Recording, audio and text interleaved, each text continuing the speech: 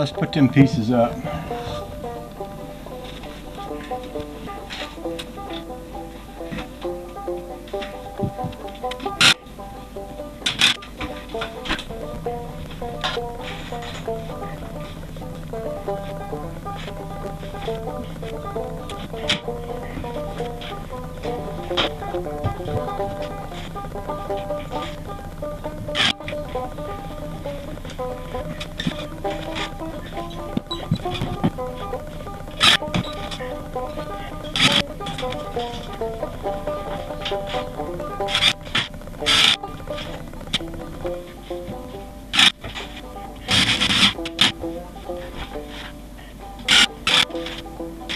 Okay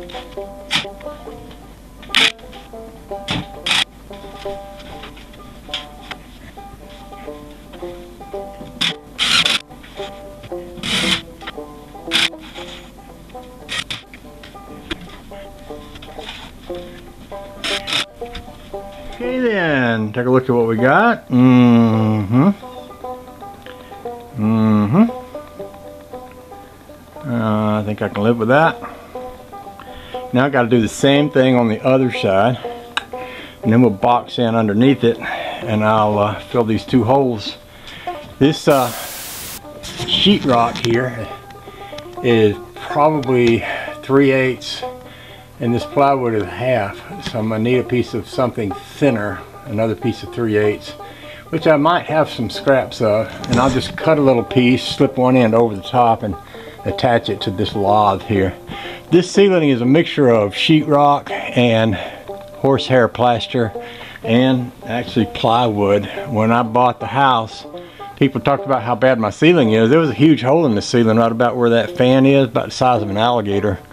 I spent a very long time, I'm talking days and days and days and days, throwing plaster and plywood and sheetrock pieces and nailing and oh, did all kind of things to kind of try to reconstruct that ceiling. It looks like about a, a you know 450 year old French house, which is fine with me because it's a 200 and something year old American house, and uh, I don't mind if the ceilings, I don't expect, I don't want or expect my ceilings to be straight and pretty. I just want them to be not too horrible. And this one was not quite as bad as it is now before that house blew up. When it blew up over there, it hit my house hard enough to crack some of the molding up there and probably re-cracked a lot of this stuff. But if you got an old house, you're gonna have that. It's just one of the things you get used to.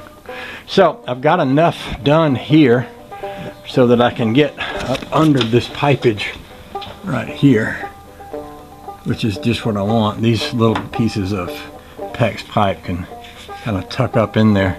So I'm going to need to build a piece on the other side that's going to be come down to the exact same amount and it's going to need to clear uh, this piece right there that comes out of the toilet and that piece that comes out of the bathroom sink. So what I'm going to do is basically do just what I just did again on this side.